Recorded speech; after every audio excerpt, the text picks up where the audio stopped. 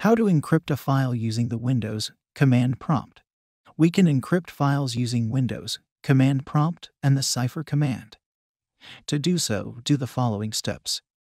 Search for command prompt by typing CMD in the Start menu search bar, and then open it. Simply hold Shift and right click and then select Copy as Path of your file which you want to encrypt. Now go to Command Prompt. Just type CD and then right click to paste the path to change the working directory, and then hit Enter key.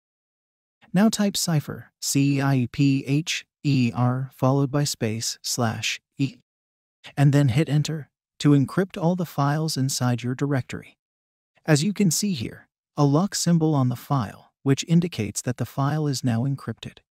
To decrypt the file, just type cipher C I P H E R followed by space slash D, and then hit enter to decrypt all the files inside your directory.